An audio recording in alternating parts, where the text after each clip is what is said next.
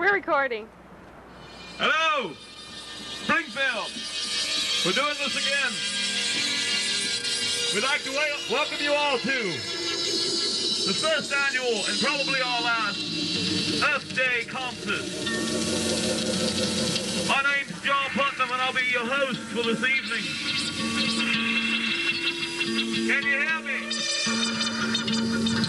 We have this bit of intro music prepared by Clyde Boot, ladies and gentlemen.